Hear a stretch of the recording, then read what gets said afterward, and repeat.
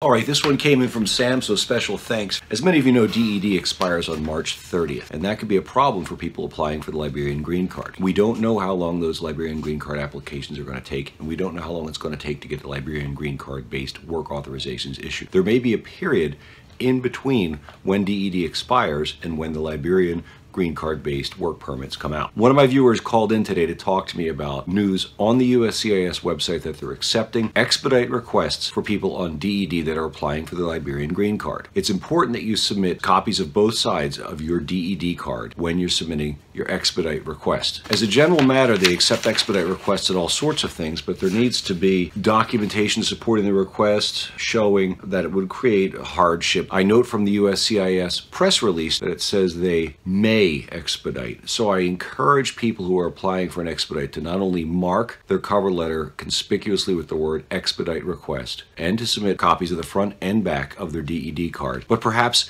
something showing that there's a compelling need other than you just want your work permit faster. Examples include a letter from your employer stating that he's going to have to cut you if your DED based work authorization expires and you have nothing new. The standard is severe financial loss. Can't be just, I want my thing faster. If you already have a job that you're going to lose, that would demonstrate severe financial loss, and you want to document that in your expedite request. This is Joe Murphy. If you have any questions about the Liberian Green Card Program, expediting DED-based work permits under the Liberian Green Card Program, asylum for Liberians, or any other immigration-related question, feel free to call me. My office number is 412-521-2000. My cell, text, and WhatsApp are all the same number, 412-973-3442.